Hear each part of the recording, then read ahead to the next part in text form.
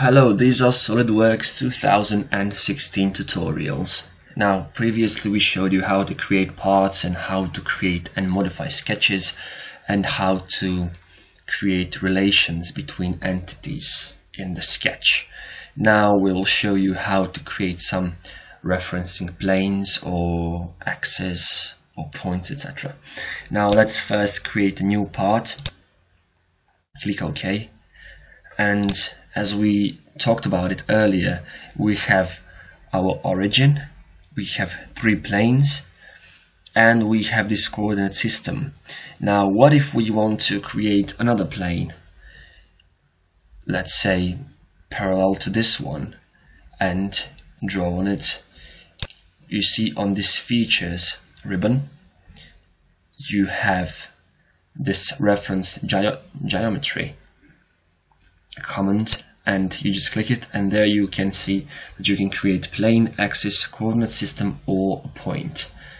Now I believe you can find it here as well. So let's just see where it is. Reference yeah, okay. You go insert reference geometry and there you can see all of these. Now to add a plane you simply click on plane and then you need to add references. Now what our reference first reference we want to have is to be parallel to front front plane. Now we can't see it and we can't see our tree. So we simply expand this and then we can see all of the things from our tree and we just click on front plane. Now we can make it either perpendicular parallel or I don't know, coincidence, etc.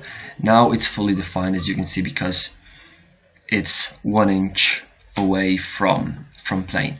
Now if we set its parallel then it's not fully defined because we need to have another reference for this distance so or we can use we can create it with different angles let's ju just say it's 125 degrees. Okay still we need second reference and so we'll just put it this way and create it. Now if we want to let's say create an axis we go to reference geometry axis and we have several ways ways of doing that. So we can create an axis on a line or edge. We don't have anything here and we don't have any sketches or anything so we can't use that one but we can use this between two planes. Now let's select plane 1 and let's say we select top plane. Now we have our axis there. We just simply click OK and there you go. Now also we can use two points or vertices we can use cylindrical face or point and face or plane.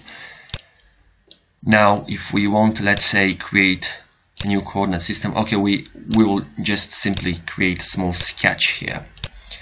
Let's no let's just make it like this I don't know.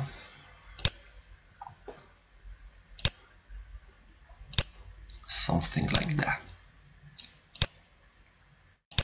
let's just specify this angle here. So let's say 30 degrees. Okay. And specify this angle here. Let's say 75 degrees. Okay. Now now we have our sketch and if we want to create coordinate system as you can see we need to specify first our origin. So let's use this point and now specify our x axis let's use this line. And our y-axis let's use this. And the z is automatically added. So now that's the way we create our coordinate system. And we can delete all of these in our tree. We simply go here press right click and click on the on the delete button. Also if we want to create let's say a point we simply click on that and we can use different options to create a point.